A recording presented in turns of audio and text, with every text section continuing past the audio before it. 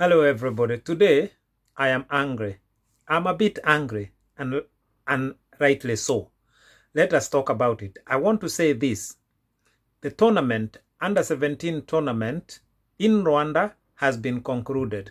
Who won the under 17 CECAFA tournament? Uganda. I'm sure you know this, and I'm sure you know that Uganda now, in terms of football within East Africa, is not a country to joke with. Think about this. Uganda under 20 is heading to AFCON. Uganda under 17 is heading to AFCON. What is it they are doing that is right? Now think about this as well. Kenya under 17. This was our time. If things were to happen, it was this time round. Why? Because the under 17 that FKF took to Rwanda is the team, yeah, that has been living, staying, studying, eating, and sleeping in FKF Center of Excellence in a place called Thome in Nairobi. And the cost for this Center of Excellence per year is 29 million shilling. So the boys that you have seen playing for, for Kenya under 17 in Rwanda, they have actually been living in, in a house in Nairobi, homeschooled there, and training in Nairobi, yeah, for the last few years. But the result is like you saw in Rwanda, that our first game was against Ethiopia, and we drew 2-2 with Ethiopia. Our next game was against Uganda, and Uganda uh, beat us, yeah. Uganda beat the Kenyan team 5-0. That was a shocker. Now, that was the end of the journey for our under 17 team. Now Uganda progressed to the to, to the semi-final and then now Uganda as we know it has won the under 17 tournament. It played against Tanzania and the final the result at the final were Uganda 3 Tanzania 1. But remember this Ethiopia actually reached the semi the semi-final and even better yeah, Ethiopia lost uh, at the penalty at the penalty stage, so they reached the semi-final. Now, what I want to say is this, and I want to share with you, and so that you can also understand why I am angry. Uganda, yeah, this 2020 final, yeah, it was it was Uganda against Tanzania. 2018, Ethiopia, yeah, Ethiopia versus Tanzania. Yeah. 2017, yeah, which was played just at the beginning of 2018. Somalia got to the final. Yeah.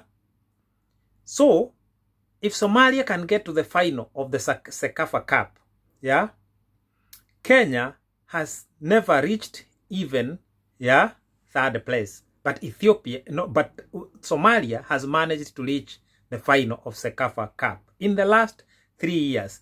And I go back to what I'm saying. This team under 17 that Kenya had, if we if this team could not take us anywhere, we are doomed. And this center of excellence in Thome, spending 29 million per year, hmm?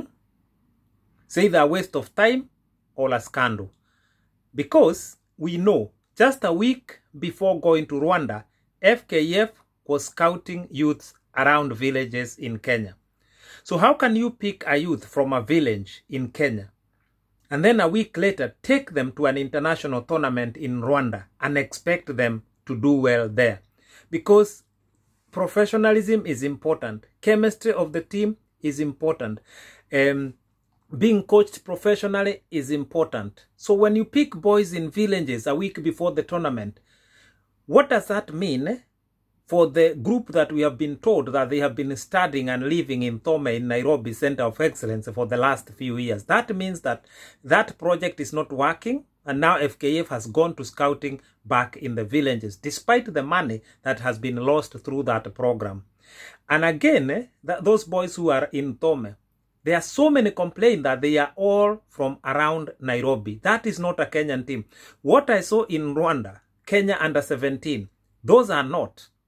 the Kenyan talents. I'm telling you, there are talents in Kenya, but the system is not reaching them. They are not being given a chance. And the people who are in this center of excellence in Nairobi, I have now come to believe they have connections. That's why they are there. And most of them are in the academies of connected people in Nairobi. That is not what I would call under 17 national team, what I saw in Rwanda. That team was terrible. But I cannot blame the boys once again. It is the federation. It is the system of nurturing youth. It is the system of scouting. It is the system of giving chance that is wrong. So those who are getting chance, they are not the right talents. And if they are, they are not being coached well. Now, I want to ask you this. That team, yeah, Uganda 5, Kenya nil. When we when our team conceded at least 3 goals or even 4, at that point, I believe the coaches should have done something and now go defensively. Because we are conceding too much, something is wrong. 5 0 is a lot of goals in an international tournament. That speaks, yeah, speaks volume. Therefore, I expected at least our, you know, our defense, yeah, our defensive unit at least to improve, concede one goal, two goals. But when you go past three and you're not and you're not scoring, something is wrong. That defensive unit, the way I saw it, it is all over the place. At at two goals that were conceded, yeah, there was only one defender left. Another goal, there was only two defenders left. Yeah, the defensive unit of four was was all over the place. The team, uh, the, the, the defensive unit is not working together. Yeah, because you cannot defend without the without the back four. Yeah, working together as a unit all the time, all the time, communicating and making sure that when a leader lango sawa sawa. Yeah, it is okay to go forward. It is okay to press forward. But I'm telling you, the, what I saw there, that does not look like a team that has been working together for the last three years. So what it tells you is this: most of the boys are some. Um, some of the boys were from that center others were from villages in kenya so there was no chemistry and they cannot play together and that just that tells a lot about the failed system of fkf in terms of nurturing the youth now in 20 in 2017 we had this team under 17 now when it was under 14 they went to southampton for a tournament and we were told they did very well there. They played the likes of chelsea and so on and so on. These are jokes from fkf i don't believe anything fkf say. That team i saw there in in rwanda that cannot even beat ethiopia and you're telling us they played the likes of the likes of chelsea and so on. Now in 2019 again they went to spain. We were told they went to the international um, mediterranean international tournament. Yeah last year it was the under under 16 team. Again we were told that they are going there to play the likes of real madrid the likes of barcelona. These are all stories from fkf but you you saw that team. Is that a team that you can expect to play barcelona or to play real madrid? There might be local village teams in barcelona called barcelona fc but the barcelona that i know the Barcelona Academy could not play that team. That is a joke. Neither is Real Madrid Bas- uh, Academy team. They could not play that team. Or Man United or Liverpool. We've, be, we've been told all of them, the likes of them playing now. I've done my research in regard to this international tournament in Spain. Yeah? And this tournament, it is called international because it is for teams coming from many other places. Yeah? But the, the teams that go there, they are not countries. They are just teams from clubs. Kenya, as a country, we take a national team and we took a national team under 16 there, which is now under 17. But let me tell you, from my research, I have found out that this team in Spain, it actually played against school teams in Spain. It is not this team we are being told, big, big, big teams. Otherwise, this team would be better. It would have learned a lot. They played a school team. And another team that they played is from a, is from a club, eh?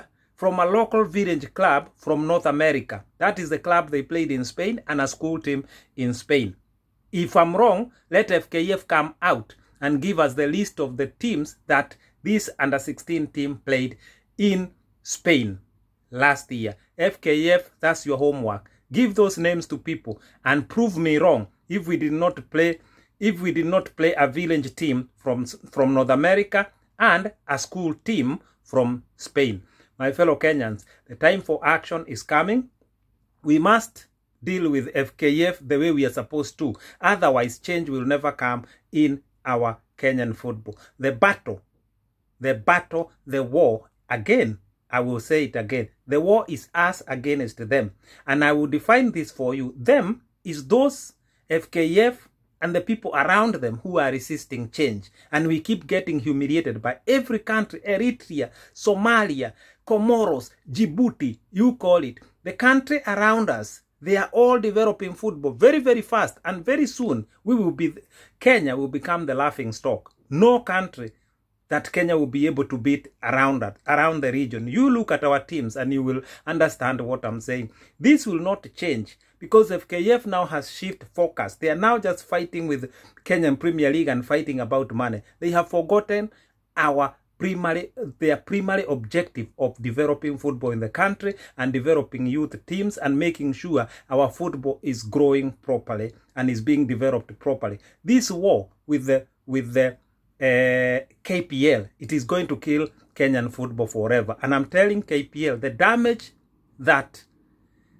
they are going to experience as a result of working with FKF, it is going to take over 20 years to repair. My fellow Kenyans, let us keep talking, let us keep sharing, let us keep educating each other, let us keep preaching the right gospel for our Kenyan football. Yeah, we are not going to relent until the revolution has happened and until Kenyan football is put on the right track. A luta continua. I live in peace. I'm gone.